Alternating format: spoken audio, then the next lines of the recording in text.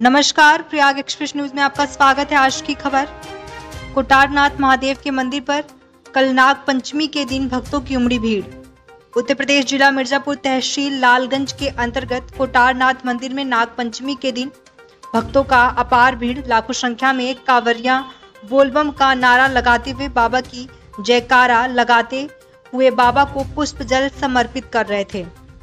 यह बहुत ही प्राचीन मंदिर है, कई हज़ार वर्ष पुराना यहाँ भक्तों की अपार भीड़ लगी रहती है। कोटारनाथ मंदिर से जल लेकर कांवर बोलबम बड़े ही श्रद्धा पूर्वक आके जलाभिषेक करते हैं।